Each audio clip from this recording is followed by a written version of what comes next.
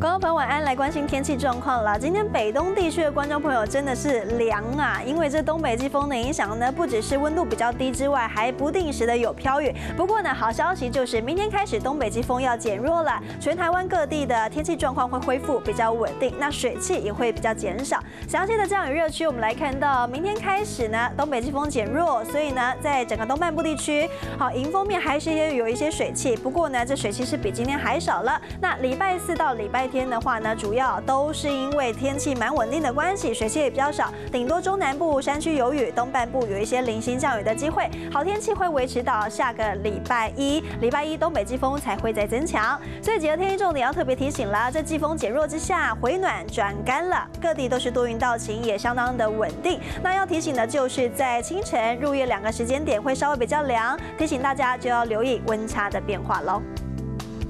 Hello，我是郑慧良。想要抢先掌握最及时的新闻资讯吗？赶快订阅、按赞、开启小铃铛，锁定华视新闻的 YouTube 频道。